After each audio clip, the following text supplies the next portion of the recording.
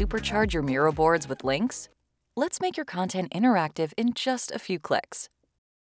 To add a link to an object, select it, click the three dots on the context menu, choose Link to, and paste your URL, or click another object you want to link. Done!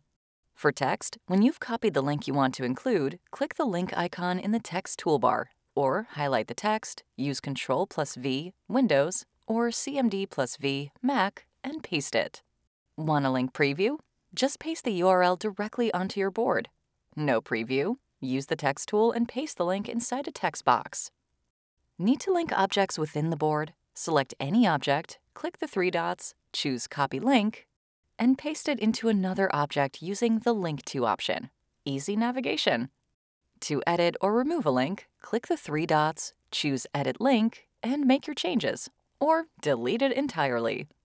And just like that, your board is now Link Interactive. If this video helped, give it a like, share it, and don't forget to subscribe for more Miro tips.